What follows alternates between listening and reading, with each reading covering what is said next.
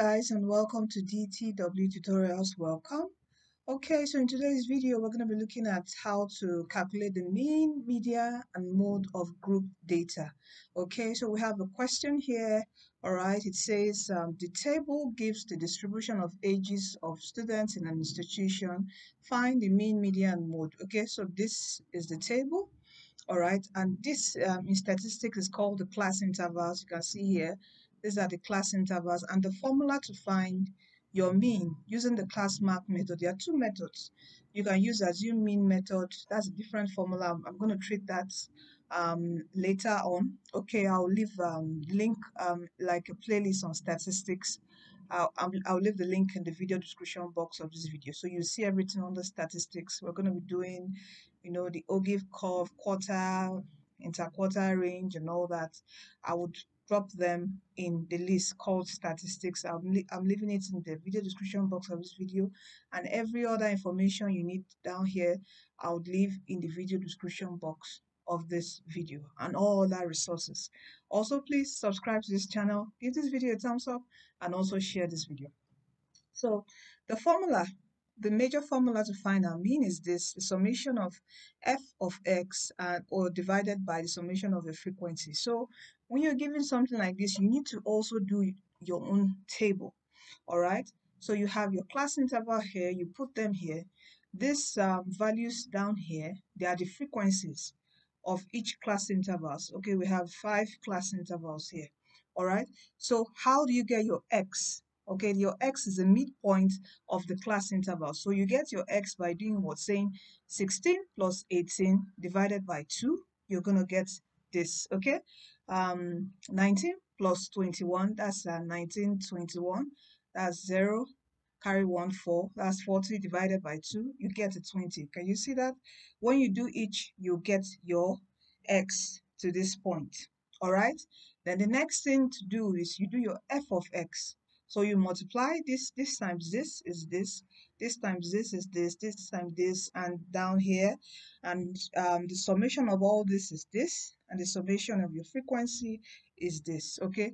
So to get your mean, you just simply do this. This is um, the summation of um, f, and this is summation of f of x. So that will give us 2712 divided by 120. And when you punch in your calculator, you should get a 22.6 So that's your mean, okay? And um, the unit is in what? In years, all right? Because, you know, yes you have to put your unit of what measurement. It could be years, it could be kilogram, it could be weight, it could be pounds, whichever unit of measurement, okay? So this is how you get the mean. So let's quickly go to our median. How do we get the median? Okay, so to get our median here, this is the formula to get the median all right where you have your lm is the lower class boundary of the median class you have you have your cfb that's the cumulative frequency of the class before the median class. Then f of m the frequency of the median class. Then c is the class width of the median class and n is the total frequency. So we're going to look at how we're going to get this here.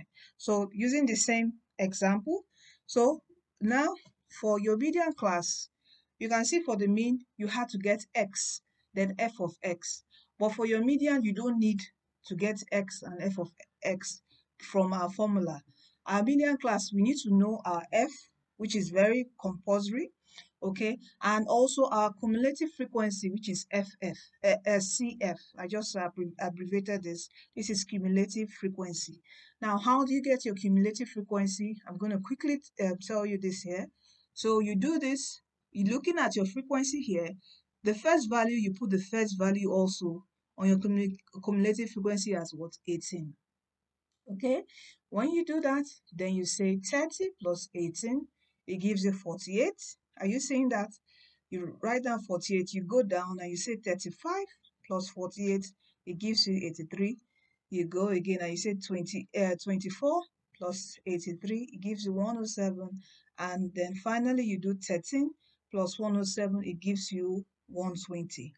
All you have to notice when finding your cumulative frequency, the last value, the last value you have here should be equal to your total frequency. You can see this is equal. Okay, that's that tells you that you have done the right thing. Okay, now that is that. So now how do you get your class boundary? Because you we also need to know this, all right? So to get your class boundary, you have to work with your class interval. First of all, you need to know the gap. To know um, the, the gap value, okay, you check for the first class interval, all right? The low, the um, the upper, you know, this in class uh, class interval, this is the upper, this is the lower class interval, this is the upper class interval. So you use the upper class interval of the first class interval and you subtract it from the second class intervals lower class what um, limits i mean okay?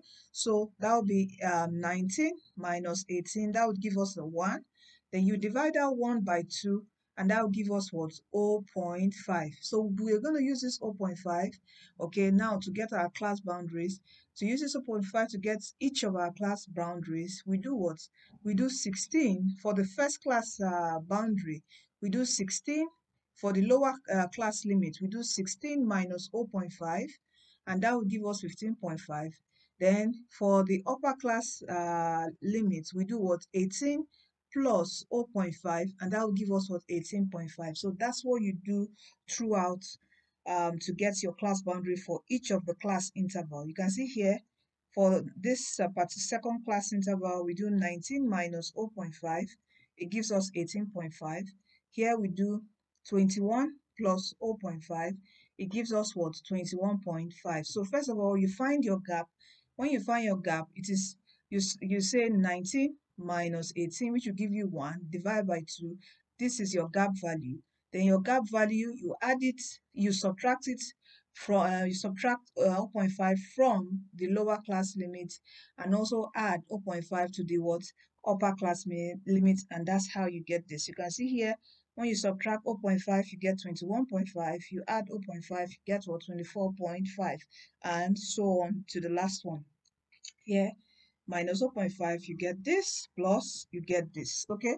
So that's how you get, you know, you have to have this table, all right? So it's easy for you to quickly plug in your values. Now coming to plug in our values to get our median, now here we have what is our lower, uh, to get, first of all, the low, you know, this LM is lower class boundary of the median class. To get our median class, we have to find n divided by 2 okay, where n is the total frequency divided by 2. And what's the total frequency here is what? 120 divided by 2. So we get what? 60. So 60 is our median class.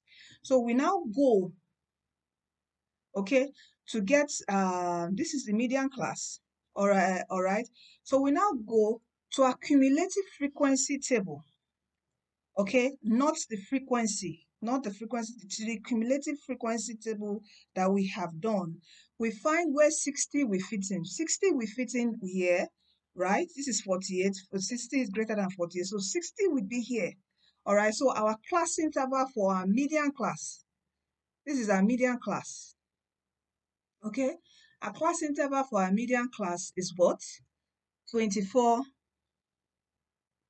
to uh, 22 to what 24. This is our median uh, class interval. So from here, we can now start getting our values easily. So here it says where um, LM is the lower class boundary of the median class. So this is our median class, right?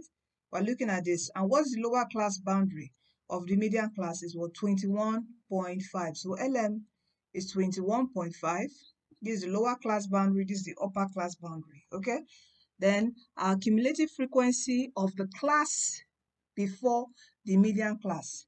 Now, this is a uh, this is a median class. So the cumulative frequency of the class before the median class is what 48. Can you see this cumulative frequency of the class before the median class? This is a median class, so it is 48. So our value for this is what 48. Then FM is the frequency of the median class. What's the frequency of the median class? Is what 35. So equal to what 35. Then our class width, get our class width of the median class. You look at the median class, you look at the class boundary. It is what 24, the upper class boundary minus the lower class boundary. So we have here 24.5 minus 21.5. And what would that give us? That would give us a 3. So that's our class width. And our total frequency we've gotten from here as what? 120. So we have all our values now. So let us plug everything in. Okay, so here we have LM. What is LM? 21.5 plus in parentheses n over 2 that's 120 over 2 minus CB is 48 divided by FM is what 35 and C out here is what 3. So here, um, let me quickly take this here. So we have here 21.5 plus, this is 60 minus 48 over 35, then 3. Okay, so this will give us uh, 21.5 uh, plus. Uh, once we punch in our calculator here, everything here, this minus this is 12. 12 divided by 35 times 3 would give us like a 1.0285 and when we add this together we're going to have a 22.2 two significant figures. When working in statistics always do two significant figures okay? So we have uh, um, that's to two decimal places i mean. So we have 2.22.52 years. So this is our median okay? I hope i've explained this very well. All right so let's go on to our mode now. Sorry that's my that's my daughter. Okay so now to get the mode this is the formula for our mode where we have um, lm is the lower class boundary of the modal class and delta 1 is the difference between the frequency of the modal class and the class before it delta 2 the frequency between the um, between the difference between the frequency of the modal class and the class after it then c is the class width of the modal class okay? So now in modal class we don't need our cumulative frequency. That's your cf that we did for our median class okay? So all we need is our class interval the frequency and the class boundary okay? So this is quite easy for the mode all right so now let's try to solve. Before you start getting your values, you need to know the modal class, just like the way we identify the median class by dividing the total frequency over 2. To know the modal class in your table here, it is um, the, the class, the inter class interval with the highest frequency, and this is the highest frequency on our frequency table 35. So we still have, we have a class interval of 22 to 24. So that's our modal class. So our modal class is 22 to 24. All right. So from here now, it's easy for us to get our lower class boundary of the modal class, which is what? 21.5. That's LM 21.5. Our uh, delta 1, that's the difference between um, the frequency of the modal class. This is the frequency of the modal class and the class before it. The class before is 30 so that's 35 minus 30, which will give us 5. Then delta 2, uh, that's delta 1. Delta 2 is frequency, difference between frequency of the modal class, which is 35, okay, minus the class after it, which is what, 24. So that will give us 11. And what's our class width? Our class width is the difference. Well, usually we use our class boundary, is the difference between this and this. So that's 24.5 minus 21.5 and that would give us what 3 so we can now put this in our formula here so we have 21.5 plus in parentheses delta 1 is 5 over 5 which is also a delta 1 plus 11 delta 2 close the parentheses our class width or class size sometimes in some um, textbook you see it as h okay instead of c is as h okay so we have 3 here so what do we have here? So that we have 21.5 plus. This is, uh, let's say we multiply this, so we have 15 over 16, right? So 21.5 plus 15 over 16, uh, 15 over 16, you know, use your calculator. We're going to get uh, 22.437. But as I said, it's always good in statistics, you use two decimal places. So our final answer will be 22.44 Remember our unit is what? Years. Okay, so this is how you find your mean, median, and mode of a group data. Thank you for staying tuned. to DTW tutorials. And also don't forget that Jesus Christ is coming soon. Give your life to Christ, for He is the way, He is the truth, and He is the life. He's the one who's going to lead us to heaven at last and uh, give us also that heaven on earth here. So He is waiting for you. All you need to do is accept Him as your personal Lord and Savior. You know, repent from every wrongdoings, and He will take over everything from you and give you that joy, peace, that happiness that you desire truly. All right, so thank you and see you in our next video. Please don't forget to subscribe, share, and like this video. Thank you.